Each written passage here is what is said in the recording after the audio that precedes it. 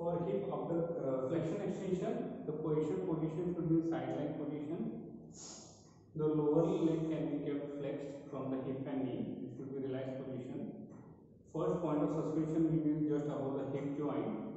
Two slings will be used, one to support the knee joint, second threading sling supporting the foot and the ankle.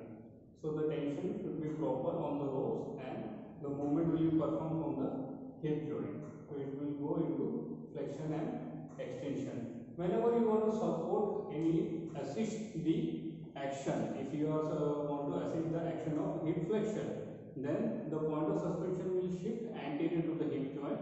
If you want to resist the hip flexors, then